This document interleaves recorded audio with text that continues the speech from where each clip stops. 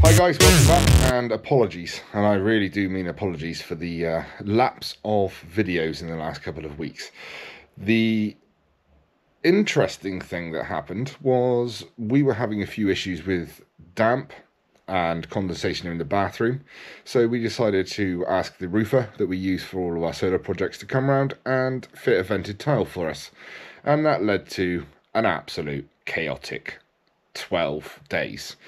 The felt, batten, everything like that had all rotted away. So we've basically, for the last two weeks, had scaffolding up outside. Whole roof, both on our property and next doors, has completely been removed. The insulation's been replaced, the felt and batten's been replaced, and the roofs have been retiled. Two weeks of chaos is probably an understatement. The wind and weather conditions were not prime for any of this work to happen. Uh, the scaffolding pretty much fell down whilst we had the wind. That had to result in a Sunday night 9 pm emergency call to the scaffolding company and the roofers to come and assist with removing as much as possible because it was blowing around the street. And in the meantime, we have been carrying on with the solar. Good news is we've been given our G99 approval from the DNO, and that has come through as 5 kilowatts. So happy days with that. That has changed our plan slightly. We have increased the amount of panels that we were going to put on the roof. And we've also now got a very nice 5 kilowatt export allowed via the proposal from the DNO. We have to submit all of our various bits and pieces, but we have six months to complete that. It won't be taking that long. We have been out on the roof today and the panels are installed. There's eight 405 watt panels installed and wired, ready to be brought back into the little shed that I built during the summer of last year.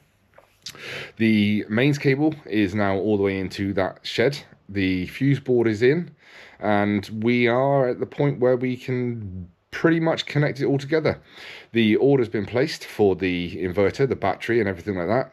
As we're a VAT business, it really makes a difference to us in regards to waiting till the 1st of February for the VAT to change. We'll just claim the VAT back and we'll be best to get that done and sorted.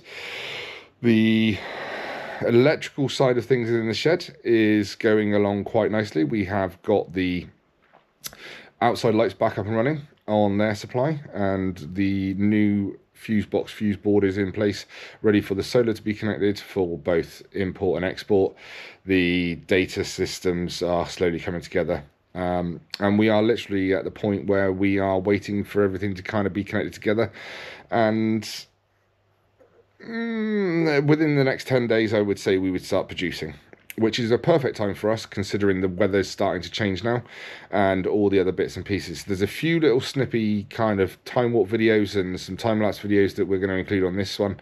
And then there is a load of other stuff. So there will be a few videos this week where we will be giving you updates as to how things have progressed and what's going on.